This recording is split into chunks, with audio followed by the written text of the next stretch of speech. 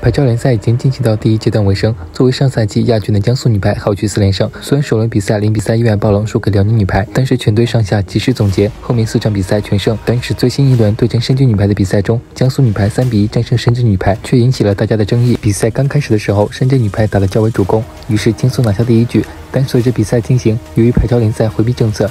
转会深圳女排的四位江苏女排队员无法上场比赛，导致深圳女排遇到困难时无法焕然调整阵容，自然也就被江苏女排逆转取胜。况且杨文锦是深圳女排一传核心之一，她不能上场，导致深圳女排一传遭遇后排防线漏洞大开，比赛最后阶段已经不想抵抗，全队状态迅速下滑。所以本场比赛最受争议的点也是内援回避政策，这个政策存在已久。以往强队把多余替补队员转会到其他球队，双方推荐时由于内援实力一般，看不出来多大影响。但是深圳女排是排招新军，根本没有自己本土队员，杨文。文锦无疑是球队的核心主攻，如此一来，主力不上场，差距明显。如果杨文静可以出战的话，深圳女排即便不能保证赢了江苏女排，至少也能跟对手苦战五局。而且纵观其他联赛，根本没有内援回避的说法。既然球队引进了内援，那必然是想依靠内援夺得好成绩。但是关键时刻不能上场，那么引进内援的意义大打折扣，一定程度上还影响了联赛的激烈情况。再加上本赛季每支球队只允许一个外援上场，这两条规定加起来，直接限制排教联赛的发展。球迷更是痛批中国排协这样糟糕的规定。